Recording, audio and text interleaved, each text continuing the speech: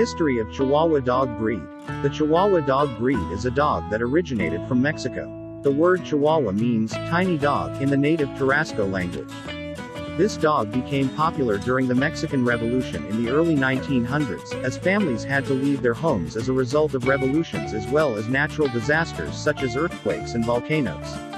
The tiny dogs were fun pets to have due to their size and it was not a big deal if they got lost or stolen because they were easy to replace.